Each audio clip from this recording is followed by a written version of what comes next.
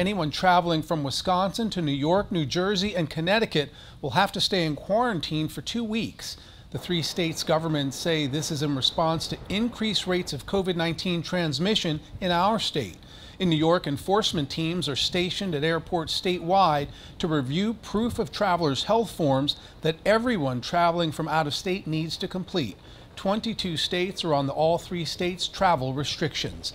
It's another travel hassle during the pandemic. A New York actor visiting family in the Madison area tells Jennifer Kleese this new rule is just one more unknown in his life right now.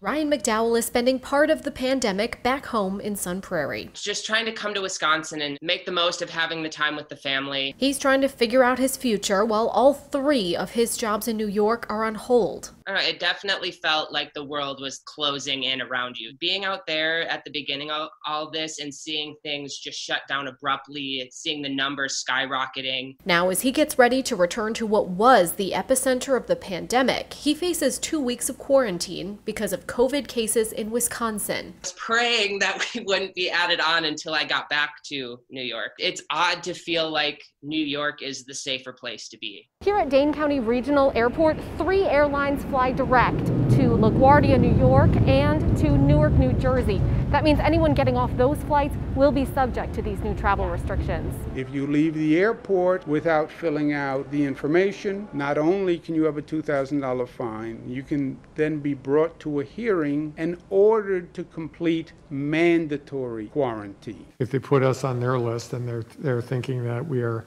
having surges here, which we are. Governor Evers says the restrictions are one more reason to wear a mask. I just think that we should use this as a uh, motivator. Despite the order, McDowell says he will go back because his apartment lease is up soon. He'll get tested and cope with quarantine. At this stage, that's an emotional toll, more so than really anything else. Hoping he'll leave a state that's taking what he's seen in New York seriously. We can't let ourselves get so complacent with this that once it hits, it hits us harder than any other state. In Madison, Jennifer Kleese, 27 News.